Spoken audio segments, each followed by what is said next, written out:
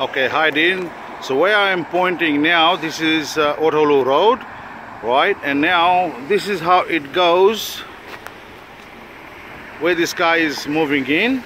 So there's a two-lane road here even. One goes straight, one turns right. So this is the way I went inside.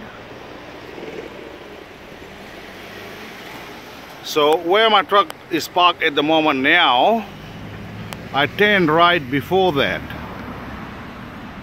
So as you can see, it's very wide up here. Two lines going up, two lines coming down. And that's the Chullora shopping center. So this is the this is my truck at the moment now.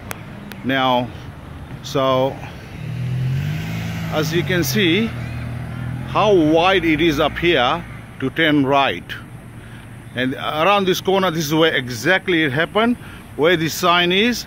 I was nearly fully in. So as you can see how wide it is. Like this vehicle is coming in the front. So the other party came out straight from there. It's a two-lane road up here it's pretty wide as you can see and she's supposed to go down that way.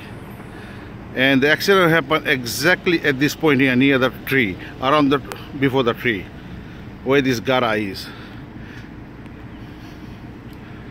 So around this point up here.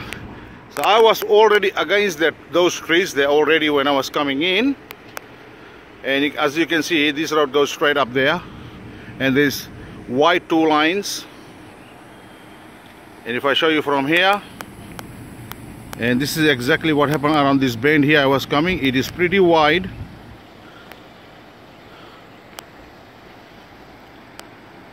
And it happened exactly around somewhere here where she hit me in my axle around these cracks here. So as you can see as I was coming down or coming up sorry where my truck is parked there you can't go straight up there. It's a one way goes only up to the top but you got to go all around the building around this way all around the building to come back at the dock at the back. But the point of the accident is exactly around this corner here. I was fully in my Primo, Primo was past these trees here as you can see in the photo. But she had a lot of room here get around me and she did so. She went around me so I will send this video to you. Then uh, you can talk to the other party. Thank you Dean